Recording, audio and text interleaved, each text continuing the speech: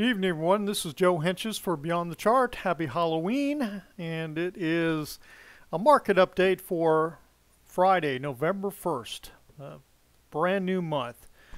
Uh, we're starting out with this first chart of the Dow Jones Industrial Average. Now, I, I, was almost tempted to give an update yesterday because of the activity that was going on with this outside bar. Now, we didn't get one quite on the Dow Industrials, as you can see here.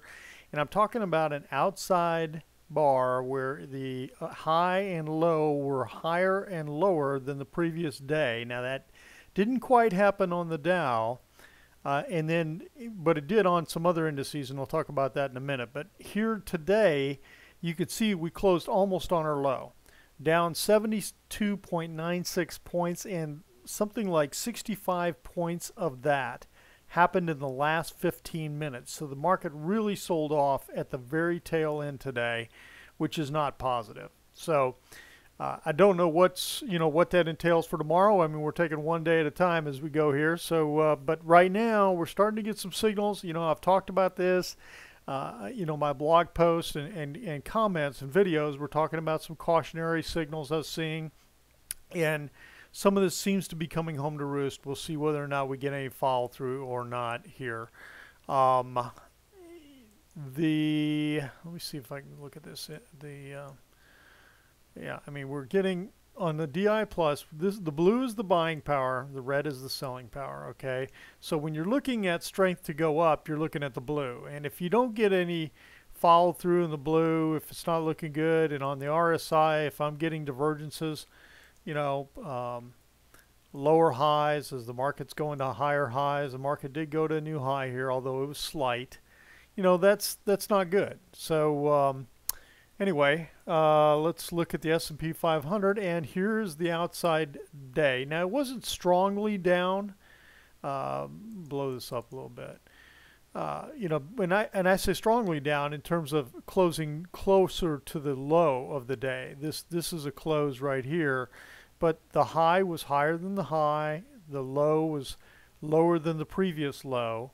So here's this outside down day, and um, and then today we've gotten some negative follow through. Now, I think the last time near the top that we had something this kind of activity was back here in May.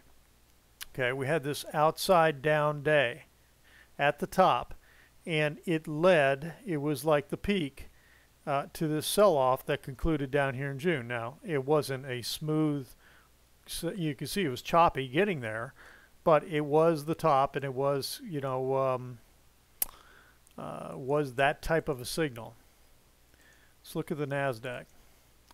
Same thing on the NASDAQ.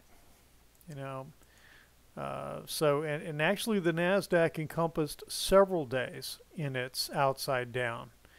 Uh, so there's a real good chance. Let's see how it looked back uh, in May. You know, you get this big outside down day at the top in May. Okay, let's see. Take a look at the Russell 2000. It's very similar thing. Outside down, and then, you know, down day here too. And we got a couple closes below this 10-day exponential moving average, and I think it was the same thing with these others. Now we don't we don't have a close on the New York uh, composite. Let's go back to the Dow. We're not below the 10 yet. There we're not. We're still above the 10 there. So really, the Russell is showing up as as like the weakest. I think I, I just lost it. There it is. Russell is all of a sudden Russell had been one of the stronger ones leading up here. Now all of a sudden it's one of the weaker ones. So that's that's kind of interesting. And we you know we are getting divergence here. Indicators did not go to new highs as the Russell pushed. Okay. Um, I want oh the I was going to look at the financial ETF too to see how it is doing. And, you know, we got a pretty good little sell off. I mean, JP Morgan, I think, is in here. Of course, JP Morgan's having lots of problems and issues. Um, but, you know, this is looking weak, that like it's starting to try to roll over. So, um, I want to look at a few stocks right now. Apache, I did get long in Apache this morning, which, uh, you know, given the market selling off, I'm kind of like going, okay, why'd you do that? But, um, I'll tell you, I'm not getting the divergences on the RSI. So that's when I looked at that, I said, okay, well, I'm not getting negative RSI. I am getting a little bit here on this. I mean, it's definitely a negative there. But when I have mixed signals, I lean towards the RSI. Uh, so that's just the way I'm looking. Now, the other thing is we had a real strong move. I think we're bottoming here, and, and I've talked about this before on Apache. I think we're in a head and shoulders bottom, okay? And this was a really strong, had, had good volume come in, buying power come in as you thrust it up here. And this was like, you know, wave one, okay? Then you had pullback wave two, and this retraced 68% of wave one, which is typical for a wave two pullback. It's typically around 60, 50 to 68%, okay? Now you get wave three going up here, and it's, you know, a little hard sometimes to count the waves. You get one, two. We seem to be in a wave three, which is why when I saw this type of, of uh, correction going on, like an A, B, C, and I saw on an hourly chart uh, a forward, um, a uh, reversal bar upward, uh, I, I thought, okay, might be a good chance to get in here and we'll, we'll just see. My stop's going to be on that reversal bar. If I get a close below the low, I'll, I'll be getting out. So that's kind of my signal on that.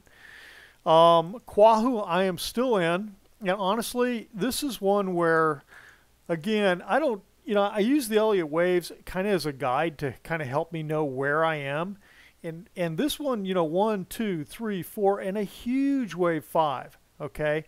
If wave 5 has concluded up here, that's the big if. If it has, then we're in for a pretty good pullback, and I think it's coming right down here. So I'm putting that circle right there. You guys can, we could see what happens. But on an hourly chart that I follow during the day, I'm seeing the Elliott waves track in a down move. And so far, they've held pretty true. Now, we'll see. Now, the aftermarket tonight, Qihoo's down over one. I'm not sure there was any news. Don't, don't know, but uh, we're hanging in there with that one for right now. Now, I'll mention Mosaic. I've been following, and watching this one, and it looks like it might be finally starting to roll over. Uh, again, th this is starting to look almost like a shoulder, head, shoulder um, consolidation move. But, uh, it, you know, as this starts to, if I get a low below this low and um, get DI minus below uh, greater than DI plus, I mean, it could be a good sign that it's time to uh, time to go south on this thing. But you know, I'd like to see this 10-day pull below the the 20-day uh, also. Uh, Solar City, this is another one. Now this looks a little messy. You can take a look at this later, but. Uh, again, when I look at Solar City, I, am counting. Here's where it launched. Okay, when it went public, I'm counting one, two, three, four, five waves up, a correction down one A, B, C for second wave two. Now we're in wave one, two, three, and it looks like a correction wave four. Okay, and typically wave fours are going to correct 38 to 40 percent, sometimes as little as 23, but typically 38 to 40. So it's corrected as much as normal here on on uh, on Solar City. Uh, I've got this base channel written in here. I mean, I targeted that it could possibly pull back into here, but this could be interesting for to see that it's really kind of in that buy zone. If you get some kind of signal close up above the 10 in here, uh, some positive action, I think uh, Solar City is getting ready to hit head up for a wave five of this uh, of this third wave up. So. Um, I mean, it, looks bullish to me right now. So we'll we'll just have to see how that plays out. So you may want to watch that one closely. So I think that was it for tonight. Um, hope one, everyone had a great Halloween. It was wonderful, beautiful day here this afternoon in in, uh, in the Dallas area. And uh, have a great uh, Friday, and we'll talk to you this weekend. This has been Joe for Beyond the Chart.